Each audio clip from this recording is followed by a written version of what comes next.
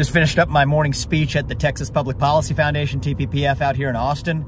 On my way to the airport, getting to DC for a speech at CPAC this afternoon. What time's the CPAC speech? 340. 340.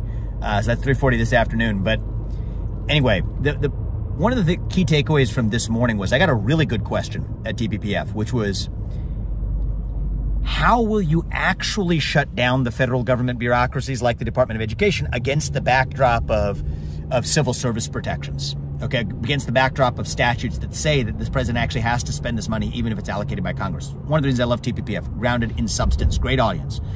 Here's the answer. I believe in Article 2 of the Constitution. Article 2 of the Constitution says that the President of the United States runs the executive branch of the government. Full stop.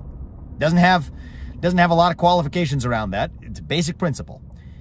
So, here's the deal a lot of those statutes that involve overreach from one branch of government to the other is a violation of the separation of powers. I know this from the private sector.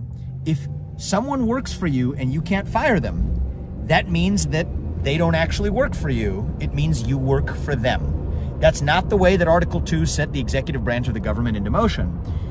And so my view is that I'm going to act with executive power that operates according to a view that those statutes are unconstitutional and that's going to be litigated and it'll get taken to the Supreme Court. And I believe that the current Supreme Court, this wasn't always true, but the current Supreme Court will be on my side of this interpretation. And that will codify this in precedent. Okay, that's actually judicial precedent.